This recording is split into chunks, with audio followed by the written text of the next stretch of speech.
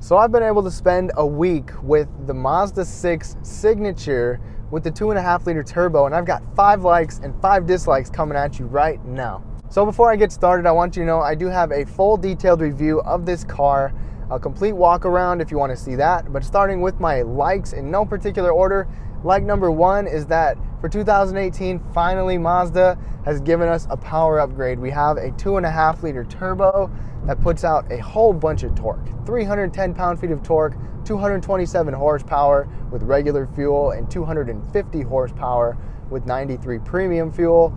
And it's definitely a big upgrade. It gives us a power option if we really want it, starting on the Grand Touring model, Grand Touring Reserve, and the Signature. To give you a little idea, put your foot down, and that torque comes out, oh man, at 2,000 RPMs. My like number two is the luxurious feel that Mazda gives you. Mazda's going for this Mazda premium, and they really have done a good job. We've got standard LED headlights, which look really good. They do a really good job, even adaptive lighting system.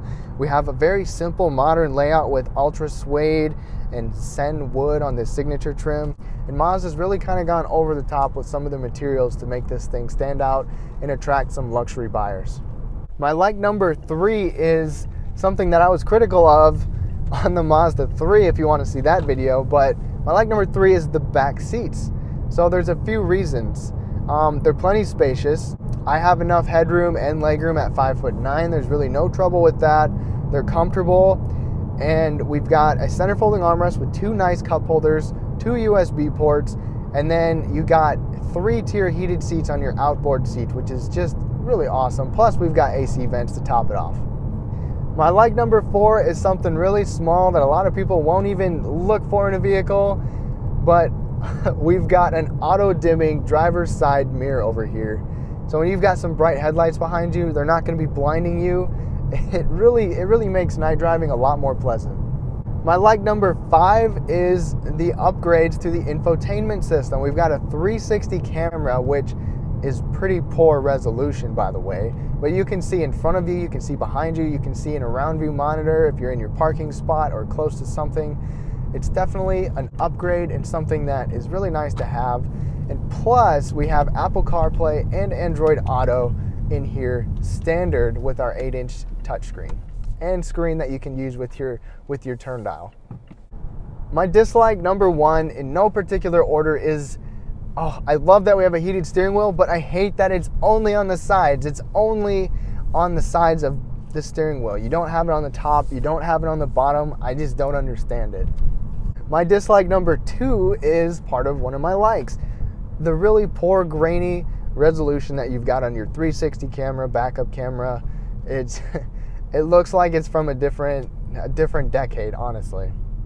My dislike number three is kind of the center console layout, and I'm critical of pretty much every Mazda center console layout, but below the AC controls, we have a pretty good size padded or a textured area for storage, which is nice, but there's no plugins, there's no ports in there.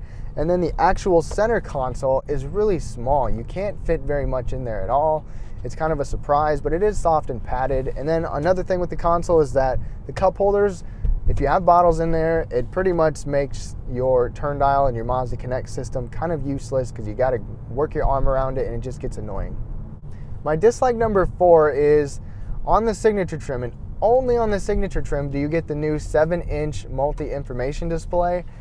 It's nice that they finally gave us that instead of their small just basic trip computer on the other trims, but on the signature trim, this 7 inch display is lacking. There's no audio, there's no navigation on there.